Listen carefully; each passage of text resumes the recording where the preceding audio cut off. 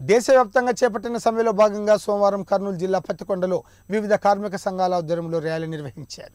ఈ సందర్భంగా వారు మాట్లాడుతూ ప్రభుత్వ రంగ సంస్థలను అంబానీలకు విక్రయిస్తున్నారని మోడీపై విరుచుకుపడ్డారు. అసంఘటిత కార్మికుల సంక్షేమాన్ని కేంద్రం గాలికి వదిలేసిందని ఆగ్రహం వ్యక్తం చేశారు. కాంట్రాక్ట్ అవుట్సోర్సింగ్ ఉద్యోగులను పర్మనెంట్ చేయాలని కనీస వేతనం ఇరవై ఆరు వేల రూపాయలు ఇవ్వాలని వారు డిమాండ్ చేశారు.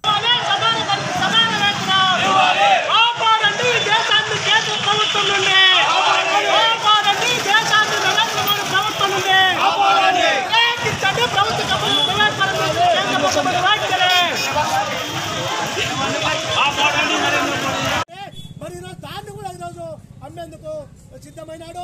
మరి ఈరోజు విశాఖ జిల్లా మొత్తం అరకు వదల్లా మరి స్వచ్ఛందంగా బంద్ చేసి ఈరోజు అక్కడ బంద్ కూడా ఆడించడం జరిగింది. కనుక భవిష్యత్తులో ఈ యొక్క అధ్యక్ష కార్యదర్శులు ఈరన్న గారు ఈర పెద్ద వీరన్న అదేవిధంగా కార్మికురాన్ని పట్టుకోవాల్సిందిగా కోరుతా ఉన్నాం. అదేవిధంగా రైతు సంఘం నాలుగు నాయకులు సుఖ్యాగ్రహ గారిని కూడా పట్టుకోవాల్సిందిగా కోరుతా ఉన్నాం.